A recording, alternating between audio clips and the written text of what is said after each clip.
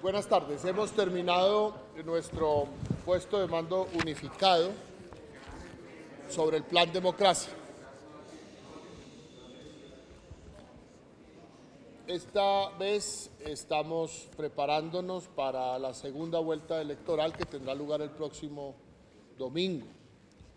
El dispositivo de fuerza pública para este domingo es eh, sumamente robusto, tiene 157 mil efectivos, 66 mil de la fuerza pública y 92 mil, perdón, de las fuerzas militares y 92 mil de la Policía Nacional.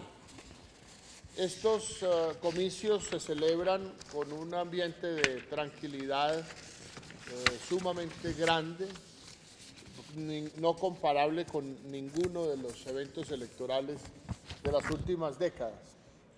Tenemos un nivel alto y extraordinario de riesgo en municipios de Colombia, en 73 municipios.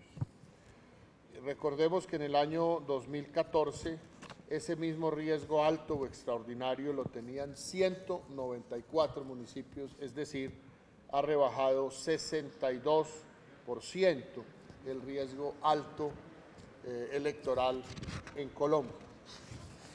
No hemos tenido hasta el momento ningún incidente cibernético. Está funcionando todo el aparato de la registraduría en materia electrónica con normalidad, lo ha reportado el señor registrador, el Ministerio de Tecnologías de la Información y las Comunicaciones y está toda la cooperación internacional ya presente, la asesoría española, eh, la de los Estados Unidos, la del Reino Unido, la de distintas organizaciones multilaterales, ya están con nuestros expertos listas a evitar cualquier daño por ataque cibernético.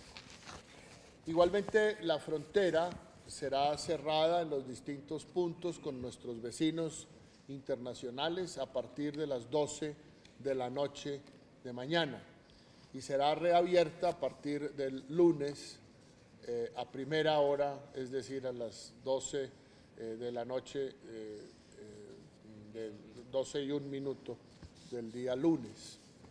eso, mm, por supuesto, no es extraordinario, ha sucedido en los diferentes eventos electorales anteriores. El nivel de despliegue de nuestra fuerza pública está este día muy cercano al 80%. Esperamos estar ya en el 100% hacia el viernes en la noche, eh, sábado en la mañana. Eh, las eh, distintas regiones están también ya preparadas.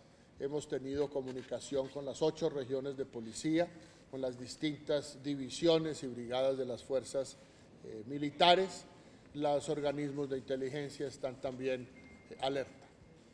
Quiero recordar que las manifestaciones y concentraciones de público, de ciudadanos, están absolutamente prohibidas el día domingo. Hasta el día lunes no se puede manifestar o hacer concentraciones en Colombia. Esto con el fin de que los resultados electorales puedan ser analizados en familia, con tranquilidad, las celebraciones de quienes triunfen y los análisis de quienes no triunfen deben hacerse en la intimidad y con toda tranquilidad. Esto lo va a garantizar con inmensa carácter estricto la fuerza pública eh, para poder tener unas elecciones que nos permitan mirar el eh, nuevo gobierno con su cabeza, empezar a hacer empalmes, preparaciones para que el nuevo gobierno se instale dentro de la mayor tranquilidad posible.